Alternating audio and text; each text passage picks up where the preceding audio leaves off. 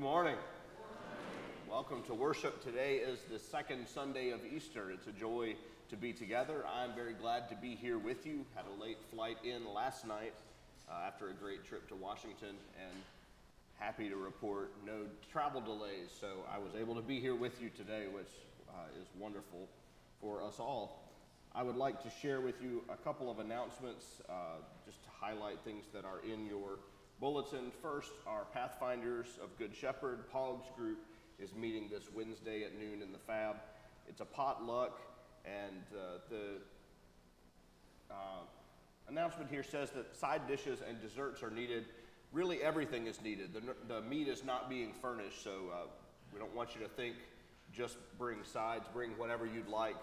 Uh, we need a few folks probably to bring uh, some some more substantial food than just side dishes and desserts. So uh, make note of that. Jim Johnson is going to be presenting, so I'm excited to hear what he has to share and to share that food and fellowship with you all. Join us this Wednesday at noon.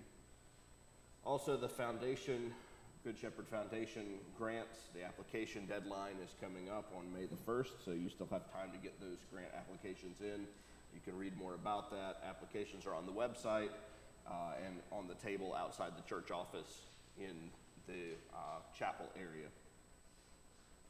Also, the Welker Retreat is coming up. It's been in there for a while, but we've had a lot of other announcements going on, but there's still time to sign up uh, for the Welker Retreat, um, and that is coming up in early October. I believe everything else you need is in your bulletin at this time. Let us stand as we're able for confession and forgiveness. In the name of the Father, and of the Son, and of the Holy Spirit. God of all mercy and consolation, come to the help of your people, turning us from our sin to live for you alone. Give us the power of your Holy Spirit that we may confess our sin, receive your forgiveness, and grow into the fullness of Jesus Christ, our Savior and Lord. Amen. Let us confess our sin in the presence of God and of one another.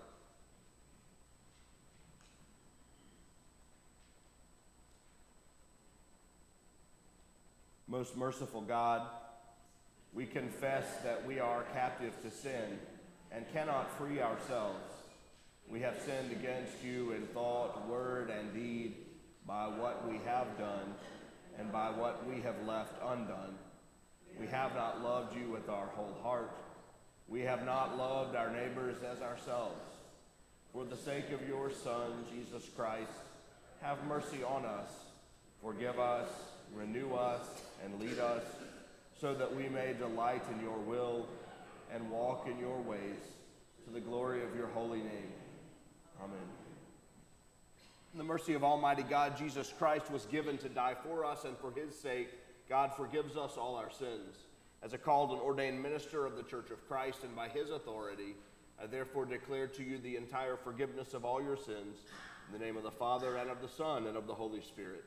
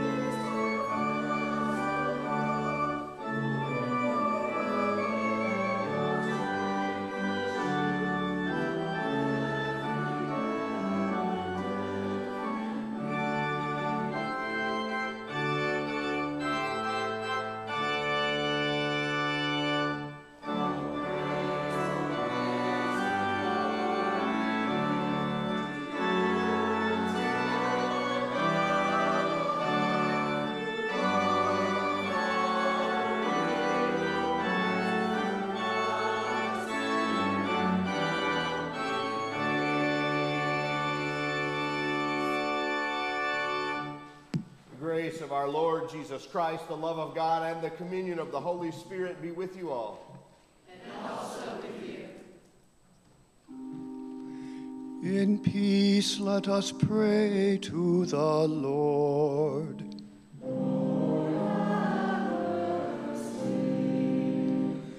For the peace from above and for our salvation, let us pray to the Lord.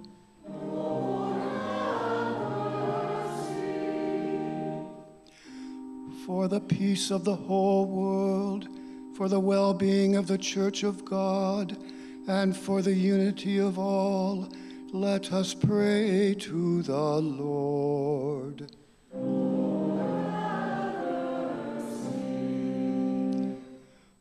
For this holy house, and for all who offer here their worship and praise, let us pray to the Lord.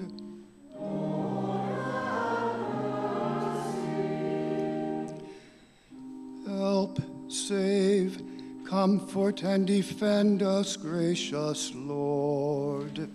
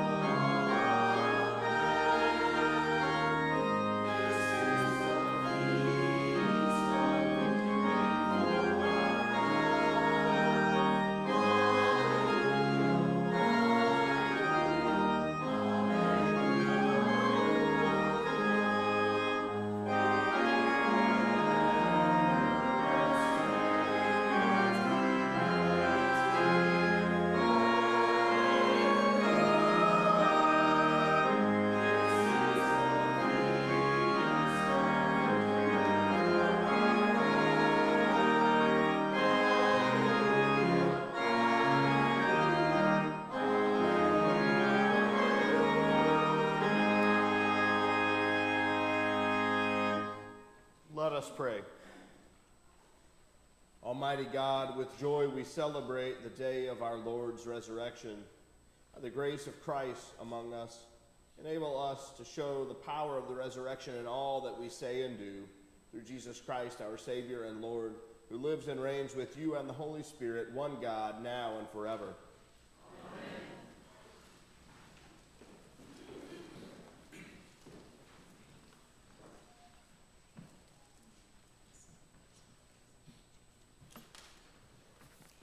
A reading from Acts. Now, the whole group of those who believed were of one heart and soul, and no one claimed private ownership of any possessions, but everything they owned was held in common.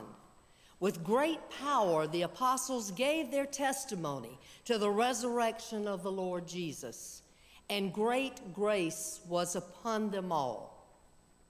There was not a needy person among them. For as many as owned lands or houses sold them and brought the proceeds of what was sold. They laid it at the apostles' feet, and it was distributed to each as any had need. The word of the Lord.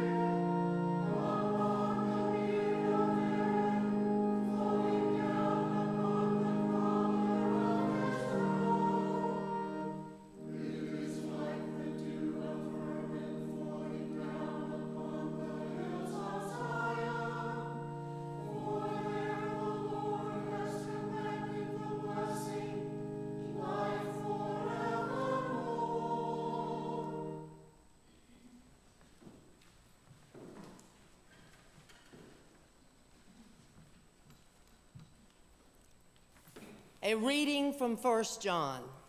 We declare to you what was from the beginning, what we have heard, what we have seen with our eyes, what we have looked at and touched with our hands concerning the word of life. This life was revealed, and we have seen it and testify to it, and declare to you the eternal life that was with the Father and was revealed to us. We declare to you what we have seen and heard, so that you may also have fellowship with us. And truly, our fellowship is with the Father and with his Son, Jesus Christ. We are writing these things so that our joy may be complete.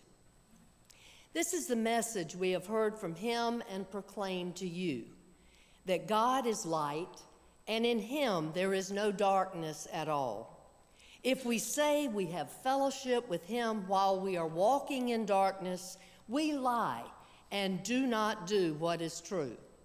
But if we walk in the light as he himself is in the light, we have fellowship with one another, and the blood of Jesus his Son cleanses us from all sin. If we say that we have no sin, we deceive ourselves, and the truth is not in us. If we confess our sins, he who is faithful and just will forgive us our sins and cleanse us from all unrighteousness.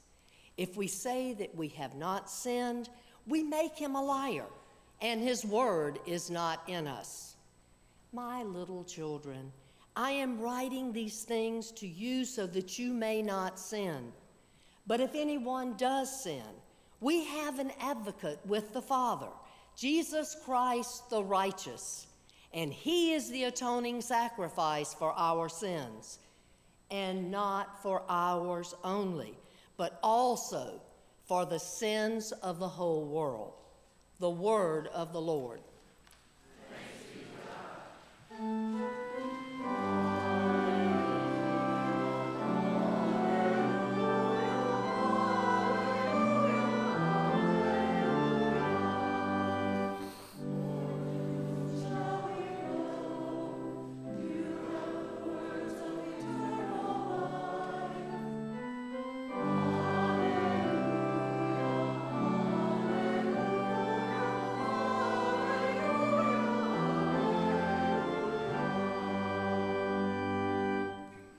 Gospel according to John, the 20th chapter.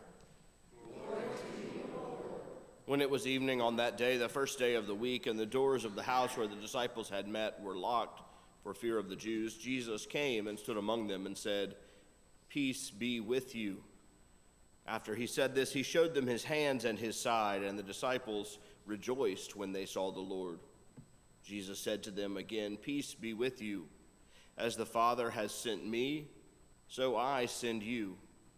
When he had said this, he breathed on them and said to them, Receive the Holy Spirit. If you forgive the sins of any, they are forgiven them. If you retain the sins of any, they are retained. But Thomas, who was called the twin, one of the twelve, was not with them when Jesus came. So the other disciples told him, We have seen the Lord. But he said to them, Unless I see the mark of the nails in his hands, and put my finger in the mark of the nails and my hand in his side, I will not believe. A week later, his disciples were again in the house, and Thomas was with them. Although the doors were shut, Jesus came and stood among them and said, Peace be with you. Then he said to Thomas, Put your finger here and see my hands. Reach out your hand and put it in my side. Do not doubt, but believe. Thomas answered him, My Lord and my God. Jesus said to him, Have you believed because you have seen me? Blessed are those who have not seen and yet have come to believe.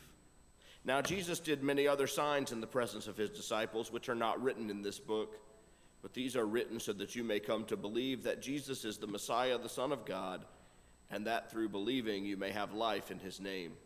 The gospel of the Lord. Praise to you, Lord Christ. Invite the children to join me.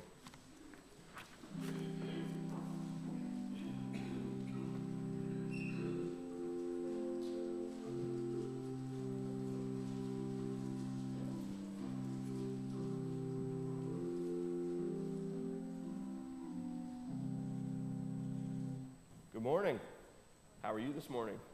Great. How are all God's children today? Hey, come on up. How are all God's children doing? All right. Well, today we heard a story about one of my favorite characters in the gospel. We heard about a man named Thomas. And Thomas had a problem. He was not there when the others saw Jesus. And poor Thomas just wanted to see and touch what the others had gotten to see and touch. He wanted to see and touch Jesus. So I wonder where in our sanctuary today we might see Jesus or touch Jesus. Anyone have any ideas about that? Where can we see Jesus? The stained glass. We have lots of stained glass pictures of Jesus. Yes. Where else? Hmm. Look around and see. We see the symbol of the cross, don't we? And that reminds us of Jesus. What about when we touch the water in the baptismal font?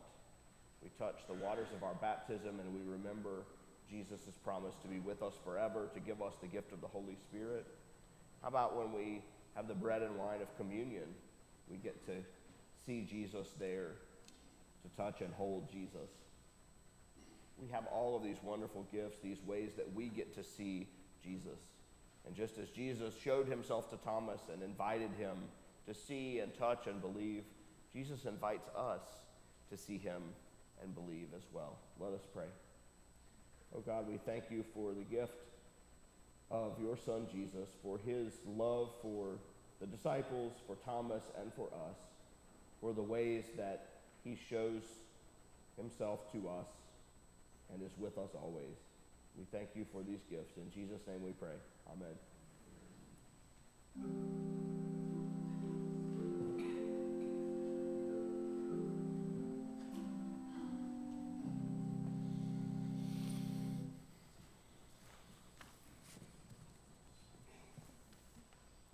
Gospel lesson today spans two weeks, chronologically speaking. The first part of the passage takes place on Easter evening, and the second part takes place one week later. And since we're here precisely one week after our celebration of the resurrection, it's no wonder that we are assigned this passage every single second Sunday of Easter. It's no wonder we hear this passage today.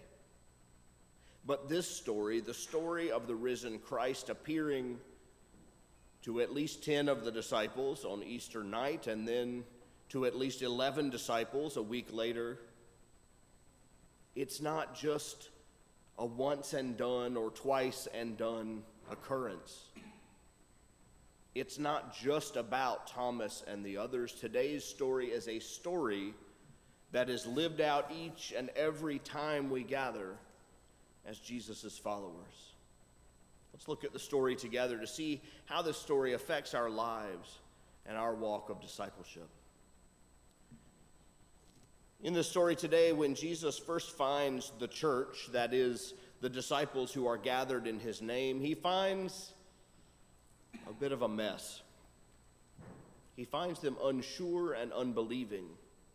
He finds them huddled in fear behind locked doors. But you know what? At least they're together. There's something about the bond between them, something about this community that Jesus created during his time on earth that has endured. It's not like the disciples all scattered and went home, each by herself or himself. They are present together, they are gathered in the community Jesus gave to them. And so it is for us. We may be unsure at times. We may have trouble believing. We may even huddle in fear from time to time, but we do so together in a community of faith. Next, notice that Jesus comes among them. It doesn't matter that they don't fully believe, it doesn't matter that the doors are shut and locked. He appears, He comes among them. And Jesus comes among us here in this place when we gather. We believe He is with us in the bread and wine of Holy Communion. He speaks to us through the words of Scripture. The Holy Spirit lives within and among us here. Christ still comes to His people today and always. Next in our story, He gives peace to them fulfilling his promise from earlier in the gospel that he will give peace not as the world gives. He does this twice on that first night with them. He also breathes the Holy Spirit onto them, again fulfilling that promise he made earlier that he would send an advocate to be with them forever. Here, that promise is fulfilled, yet that promise is also fulfilled again and again and again each time we gather. The peace of Christ is a perpetual gift to the church. The Holy Spirit is our eternal guardian and guide. Again and again, the Spirit and the peace of God are bestowed upon us. Well, Jesus doesn't just give those first disciples comfort and peace, as wonderful as that is. He also gives them a mission. There is a task at hand. He says, As the Father sent me, so I send you. Well, it's no wonder, given that command, that the church needs the Spirit and the peace of Christ, the presence of Christ. The Father sent the Son to love the world, to change the world, to save the world, to die for the sake of the world. Now Jesus says he is sending the church, his followers to do that same work of love, of change, of salvation, of dying and rising. We, the church, get to continue the work of Jesus here on earth. No pressure, right? All of this happened on that first Easter evening, and all of this continues to happen in the church today. But Thomas wasn't with them that first night. And he stoically refused to believe unless he saw and touched for himself. We may judge him for that. We may call him doubting Thomas. We may think, I would have believed without seeing, and in a sense, I suppose we have. In a real sense, we are those upon whom Jesus bestows that blessing. Blessed are those who have not seen and yet have come to believe. It's harder for us, I think, sometimes because we're not eyewitnesses of the bodily resurrection of Christ in the same way those first few followers were. But Thomas only wanted what the others had already seen and touched and received. And rather than dismissing him or excluding him or berating him, what does Jesus do when there is one struggling for faith? What does Jesus do for the latecomer? What does Jesus do for the stubborn and the hard of heart? He gladly appears again. He gives his peace to the whole community again. He reaches out in love to Thomas and invites him to fulfill his own conditions and to believe. And it turns out Thomas didn't really need to touch after all. He simply bowed down in worship before Jesus, his Lord and his God. Thomas represents more than just himself, I think. I think he represents all of us, each of us. When we struggle for faith, Jesus meets us. When we have conflict among ourselves, Jesus bestows his peace on this community again and again and again. When we ask earnestly for help and guidance, Jesus answers our prayers in his way and in his time.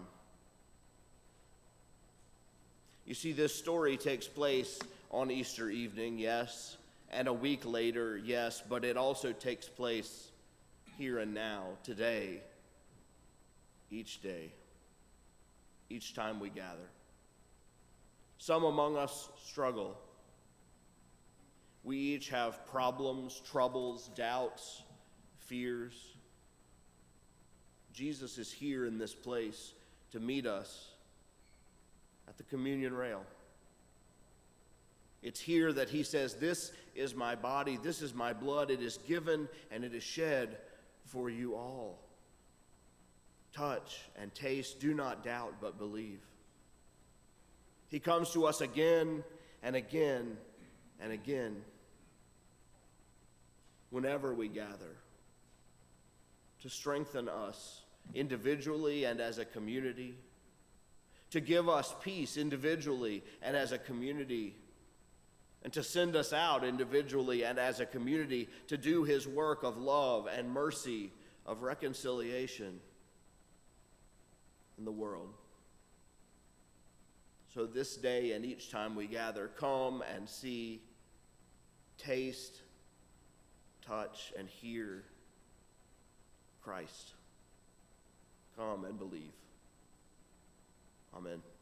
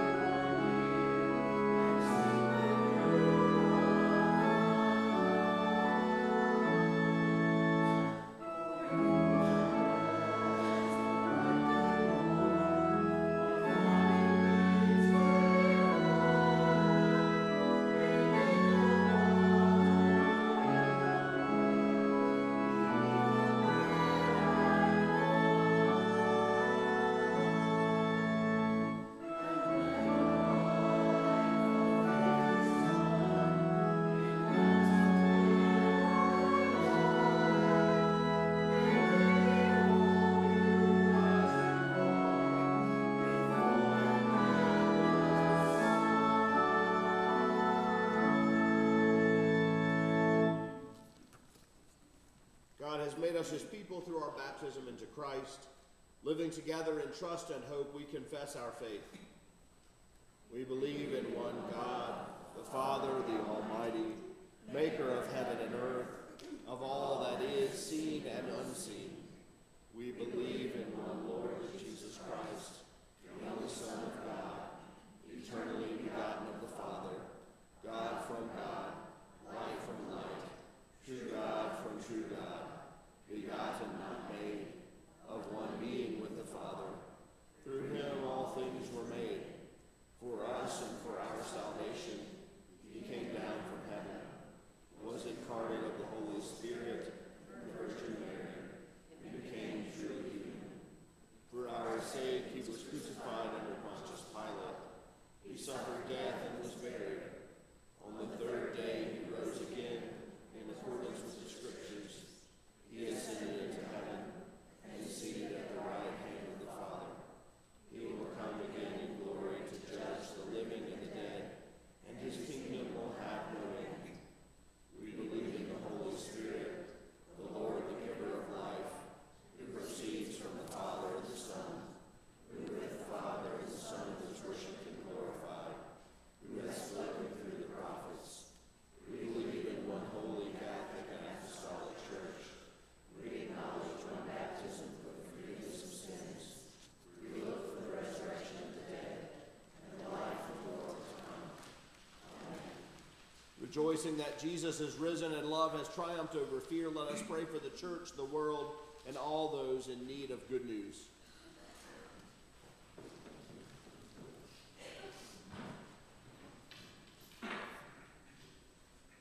Your church cries out, O God, and you listen.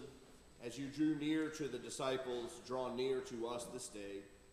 Breathe on us your Holy Spirit, that our faith is renewed and we witness to your love. God of grace. Creation cries out, O God, and you listen. Nurture trees, crops, wildflowers, and all growing things. Guide farmers, gardeners, arborists, and others who tend the soil and nurture plants into life. God of grace. Your world cries out, O God, and you listen. Guide police, firefighters, paramedics, and other first responders to work for the well being of communities and the dignity of every person, that no one may need to live in fear. God of grace. Your children cry out, O God, and you listen. Hear your people crying out for justice, for an end to racism and other oppression, and for a world where all are fed and safe. We pray for all who cry out in suffering or pain, especially those whom we name now.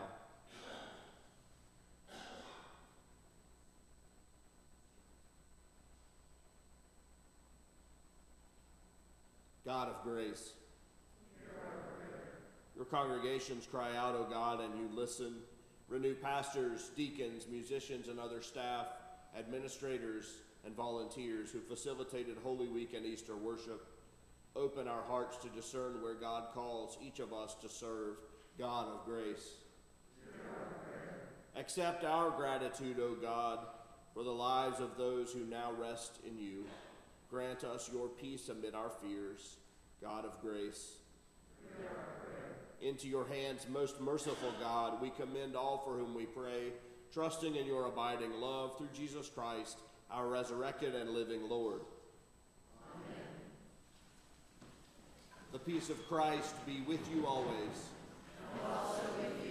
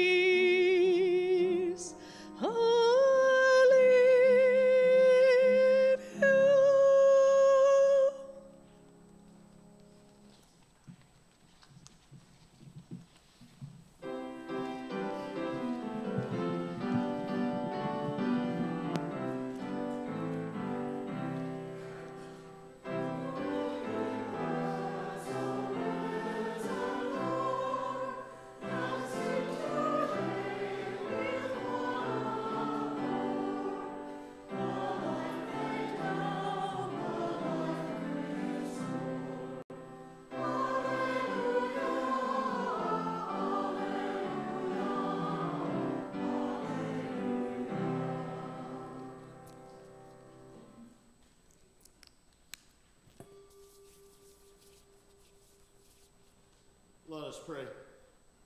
Risen one, you call us to believe and bear fruit. May the gifts that we offer here be signs of your abiding love. Form us to be your witnesses in the world through Jesus Christ, our true vine. The Lord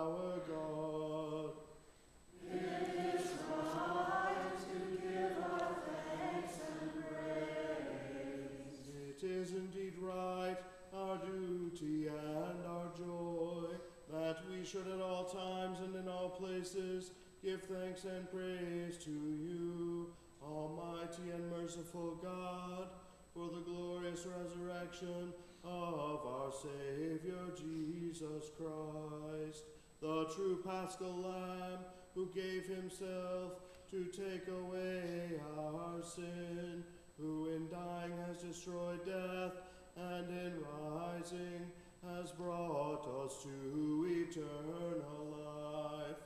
And so with Mary Magdalene and Peter and all the witnesses of the resurrection, with earth and sea and all their creatures, and with angels and archangels, cherubim praise your name and join their unending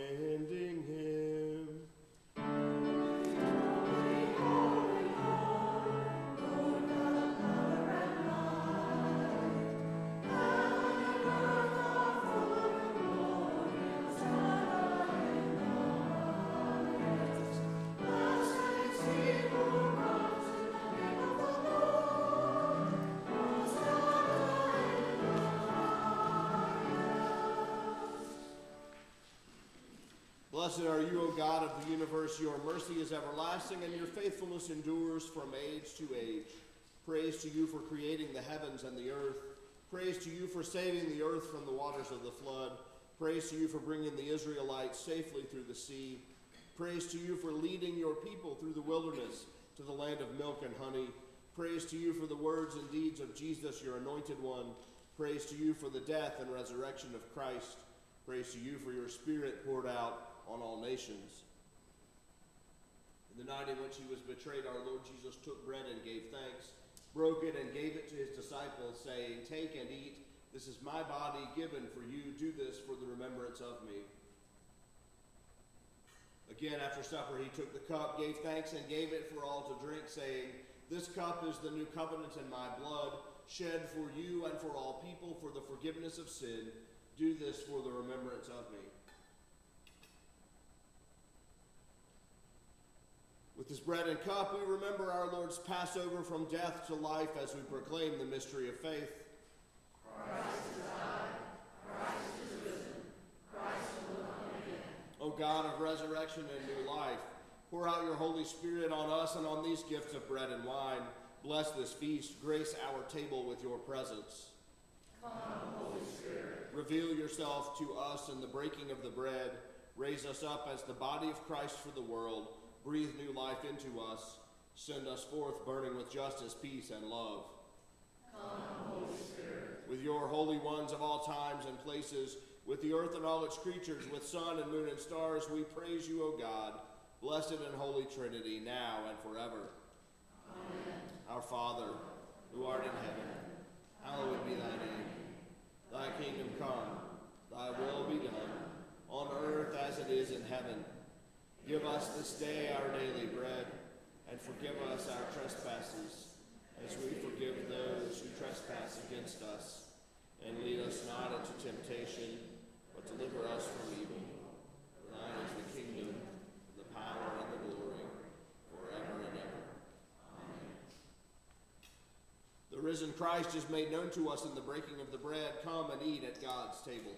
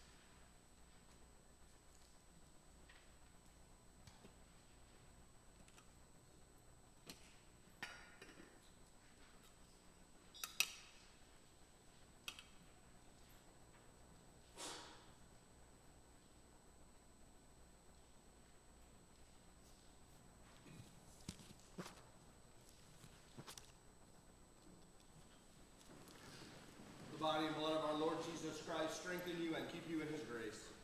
Amen. Let us pray. Shepherding God, you have prepared a table before us and nourished us with your love. Send us forth from this banquet to proclaim your goodness and share the abundant mercy of Jesus, our Redeemer and friend. Amen. Almighty God, Father, Son, and Holy Spirit, bless you now and forever. Amen. Hallelujah.